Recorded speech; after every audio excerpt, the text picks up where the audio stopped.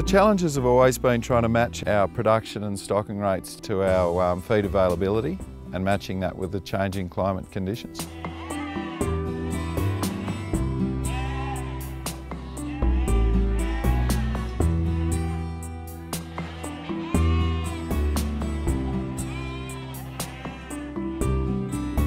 I think the, the Farm 300 program, it's given us a, a better understanding of, I guess, what changes we've made in the past and what path we're on um, is we have confidence in that being the right path.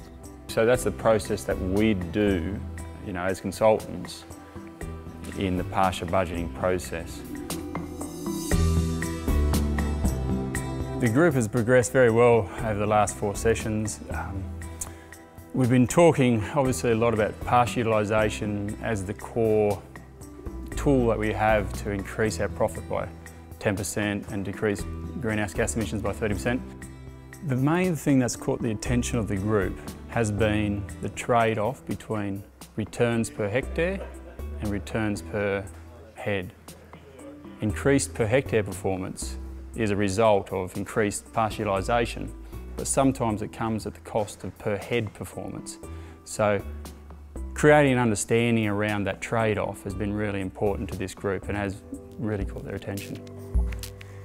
One of the key things we've been helping Tom with has been his pasture assessment. Pasture assessment's a critical element to pasture budgeting, which has been one of the main tools we've been using in this course to help out increase our pasture. So we've been going it with Tom, having a look at how he assesses pasture, where he might be going wrong, where he might be going right, just helping calibrate to get more accurate understanding of what pasture he is out, you know, available to him at any given time. It goes from zero mm. in you know places over the other side, yeah. it's literally bare ground, yeah. to 7,000 kilos up here. Mm. Can we rip across and take me to the bearers patch? Yeah. Like maybe on the other side of the creek, or we can walk across the creek. Yeah, whatever. yeah, no, we'll whiz across there and have a look. It's understanding how to measure the, the things that make up managing your pasture availability and your stocking rate, you know, well so they're, so they're matched.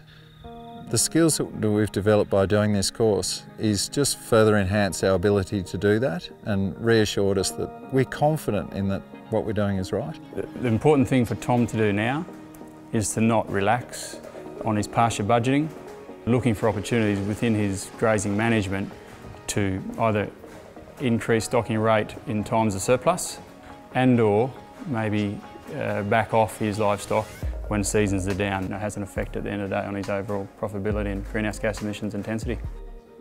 We're not doing it so much as a feel-good exercise or anything. It's, it's really got financial outcomes that we're focused in on. Yeah, I hope to think that we're going to achieve those.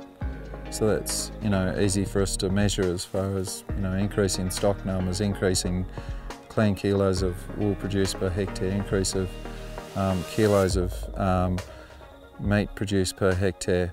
Um, you know all of those things are easily measurable. You know there's so much information out there at the moment, and you know which ones do we use? How do we best implement them in our business? Through the education that we've gained, you know, in, in the short time we've been doing this course, if we can implement those with a better understanding of how they relate to a series of other things, we know that we're going to be better off, you know, across the board.